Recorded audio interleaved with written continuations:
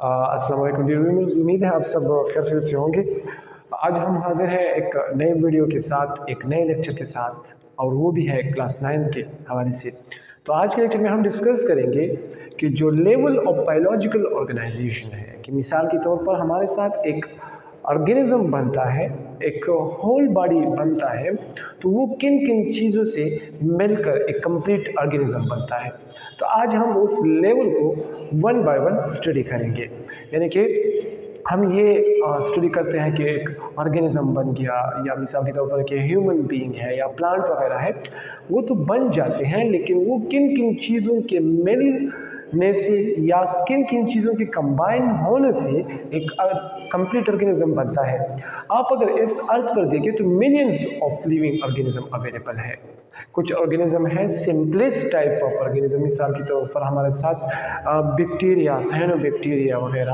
Up to complex organism मिसाल के तौर पर प्लांट्स और ह्यूमन बींग यहाँ तक ये ऑर्गेनिज्म डिवाइडेड है डिफरेंट टाइप्स ऑफ़ के ऑर्गेनिज्म है। अब ये ऑर्गेनिज्म इनमें से कुछ ये इस तरह से है कि या तो वो सेलुलर लेवल के ऑर्गेनाइजेशन पे होते हैं, या हमारे साथ ऑर्गेनिज लेवल के ऑर्गेनाइजेशन तक होते हैं, या हमारे साथ एक कंप्लीट ऑर्गेनिज्म के बेस पर डिवाइड होते हैं। तो इस लेवल से आज हम स्टडी करेंगे हमारे साथ जो लेवल ऑफ़ बायोलॉजिकल ऑर्गेनाइजेशन है, वो किन किन चीज़ों पर मुश्तमिल है। तो लेवल ऑफ़ बायोलॉजिकल ऑर्गेनाइजेशन में जो फ़र्स्ट लेवल आता है सब एटॉमिक एंड एटॉमिक लेवल यानी सब एटॉमिक का मतलब क्या है? सब एटॉमिक का मतलब ये है कि एटम से छोटे, यानी कि हमारे साथ एटम से जो छोटे ज़रात हैं, वो मिल जाते हैं और हमारे साथ एक एटम बनाते हैं। मिसाल के तौर पर सब एटॉमिक पार्टिकल में हमारे साथ इलेक्ट्रॉन प्रोटॉन न्यूट्रॉन और फिर ये सब फर्दर डिवाइड होते हैं अप टू हंड्रेड्स पार्ट में डिवाइड होते हैं। ये हमारे साथ कहलाते हैं सब एटॉमिक पार्टिकल ये जब सब एटॉमिक पार्टिकल कंबाइन हो जाते हैं तो हमारे साथ एक एटम बनाता है। और एटम हमारे साथ मिसाल के तौर पर हाइड्रोजन हो गया ऑक्सीजन नाइट्रोजन फास्फोरस जितने भी हमारे साथ हैं, ये हमारे साथ एटॉमिक लेवल के कहलाते हैं या एटम लेवल के कहलाते हैं। तो फ़र्स्ट टिप ये है कि सब एटॉमिक पार्टिकल कंबाइन हो जाते हैं और वो हमारे साथ एक एटॉमिक लेवल तक या एटम जो है वो कंबाइन बनाता है। फिर उसके बाद जो दूसरा लेवल आता है, यानी कि जो सब एटॉमिक और एटॉमिक लेवल के बाद जो थर्ड सेकंड लेवल आता है, वो हमारे साथ आता है मालिकुलर लेवल या इसको हम कहते हैं मालिकुलर एंड कंपाउंड लेवल ये जो मालिकुलर लेवल है, इसमें ये जो एटम बन गए, हमारे साथ हाइड्रोजन ऑक्सीजन नाइट्रोजन वगैरह, ये हमारे साथ एटॉमिक लेवल है। जब ये एटम कंबाइन होते हैं तो ये हमारे साथ बनाता है मालिकुलर एंड कंपाउंड बनाते हैं। जब हमारे साथ ये एटम कंबाइन होते हैं तो हमारे साथ मालिक्यूल एंड कंपाउंड बनाता है। जब ये एटम कंबाइन होकर हमारे साथ मालिक्यूल एंड कंपाउंड बनाते हैं तो फिर हम इसको हम कहते हैं bio molecule and bio compound या बायो मालिक्यूल बायो कंपाउंड का मतलब ये है कि ये एक लिविंग बॉडी बना रहा है, एक लिविंग ऑर्गेनिज्म बना रहा है तो इस वजह से इसके साथ वर्ड एक होता है बायो तो बायो मालिक्यूल और बायो कंपाउंड ये हमारे साथ एटम जो है, इसकी कम्बिनेशन से बन जाते हैं। ये जो बायो मालिक्यूल है, हमारे साथ दो तरह के हैं। एक हमारे साथ होता है माइक्रो मालिक्यूल और दूसरा हमारे साथ है मैक्रो मालिक्यूल जो माइक्रो मालिक्यूल है, ये मालिकुलर वेट से कम है। इसका मालिकुलर वेट जो है वो लो है और इसका एग्जांपल हमारे साथ है वाटर तो वाटर एक मालिक्यूल है, लेकिन हमारे साथ माइक्रो मालिक्यूल है, क्योंकि इसमें सब एटॉमिक पार्टिकल और हमारे साथ एटॉमिक पार्टिकल दोनों, यानी कि हमारे साथ एक एटम कंबाइन हुआ है इसमें हमारे साथ वाटर के साथ हाइड्रोजन और ऑक्सीजन कंबाइन हुए तो एक कंपाउंड बन गया, एक मालिक्यूल बन गया। ये और जो हमारे साथ मैक्रो मालिक्यूल है ये हमारे साथ हाई मालिकुलर वेट है। यानी कि वो कंपाउंड है जो एक लिविंग बॉडी में अवेलेबल होंगे लेकिन इसका मालिकुलर वेट थोड़ा ज़्यादा होगा। प्रोटीन लिपिड स्टार्च वगैरह इसके एग्ज़ाम्पल में रहते हैं। तो ये हमारे साथ मालिकुलर लेवल ऑर्गेनाइजेशन है। फिर इसके बाद हमारे साथ आता है आ, level number third level number third में हमारे साथ है ऑर्गेनिल लेवल ऑर्गेनिल लेवल इसको आ, हम दूसरा नाम देते हैं subcellular structure subcellular structure क्यों कहते हैं? क्योंकि जो बायो मालिक्यूल है the biomolecule combine to form जब ये बायो मालिक्यूल जो हमने पिछली स्टडी किया कि?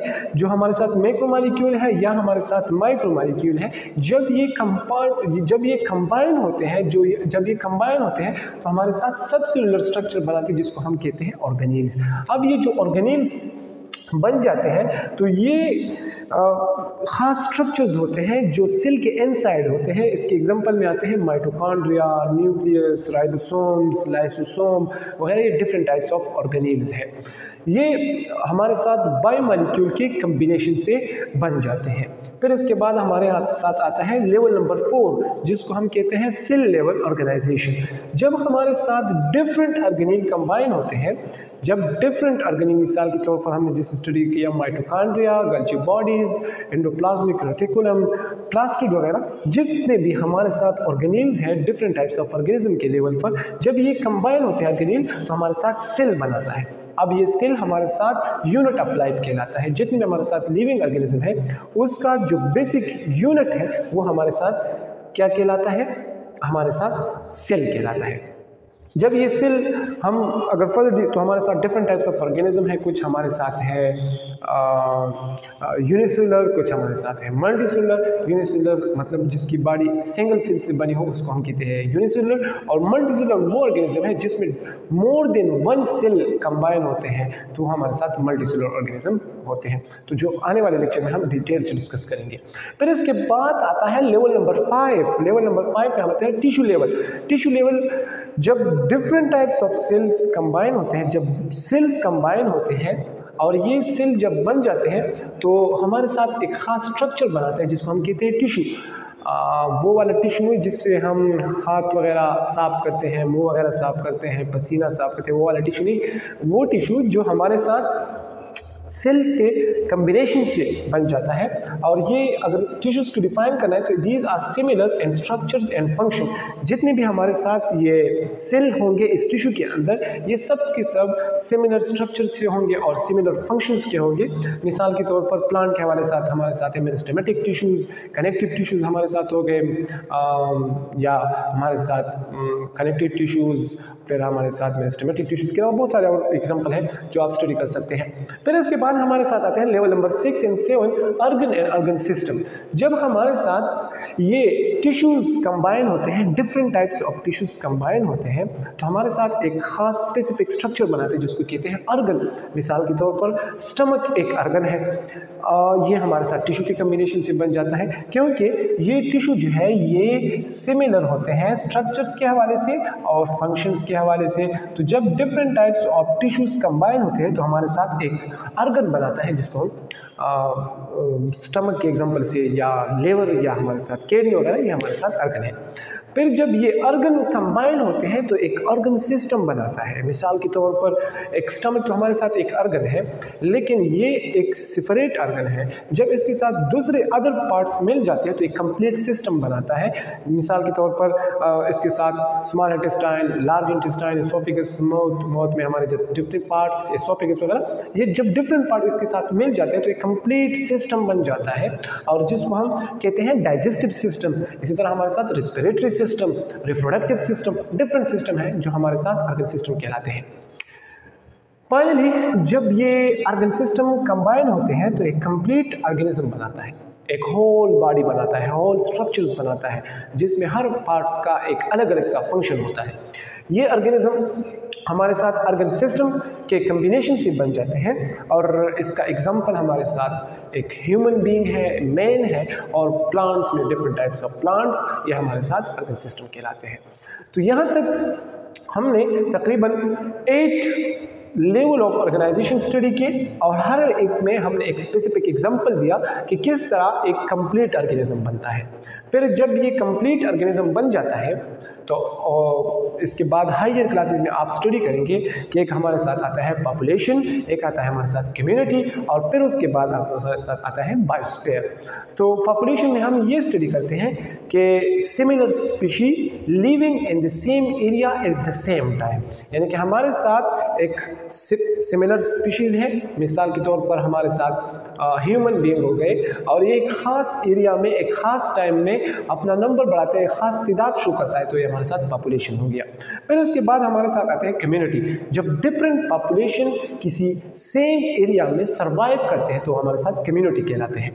और फिर कम्युनिटी की बात आते हैं। कम्युनिटी में मिसाल के तौर पर हमारे साथ फॉरेस्ट है। फॉरेस्ट में अगर आप देखें तो वहाँ पर different types of plants different types of animals micro organism वगैरह, वो डिफरेंट डिफरेंट पॉपुलेशन के हिसाब से उस रीजन में सर्वाइव करते हैं। तो जब डिफरेंट टाइप पॉपुलेशन एक खास एरिया में सर्वाइव करते हैं, वो हमारे साथ कम्युनिटी कहलाते हैं। कम्युनिटी के बाद हमारे साथ आता है biosphere bio means life sphere means region जिस रीजन में लिविंग ऑर्गेनिज्म सर्वाइव करते हैं, वो पॉपुलेशन के हिसाब से हो या कम्युनिटी के हिसाब से हो, लेकिन वो रीजन जहाँ पर एक लिविंग बॉडी सर्वाइव करते हैं, मिसाल के तौर पर अगर हम इस रीजन में सर्वाइव करते हैं तो हमारे से ऊपर 24 kilometre 24 kilometre right and left and 24 kilometre below of the depth of the sea यानी कि जिप, जिस, जितने भी रीजन है जहाँ तक लाइफ पॉसिबल है, उस रीजन को हम कहते हैं बायोस्पेयर यानी अर्थ ज़मीन का वो हिस्सा जहाँ पर वो लिविंग बॉडी सर्वाइव करते हैं different types of living organism survive करते हैं तो वो हमारे साथ कहलाता है? बायोस्पेयर तो डियर स्टूडेंट यहाँ तक हमने लेवल ऑफ़ बायोलॉजिकल ऑर्गेनाइजेशन को स्टडी किया. अगर यहाँ तक आपके जहन में कोई भी क्वेश्चन हो तो कमेंट सेक्शन में बगैर हेजिटेशन के आप कमेंट कर सकते हैं क्वेश्चन पूछ सकते हैं। और अगर अभी तक आपने चैनल को सब्सक्राइब भी नहीं किया है तो सब्सक्राइब कीजिए और अगर वीडियो पसंद आया है तो लाइक ज़रूर कीजिए। Thanks for watching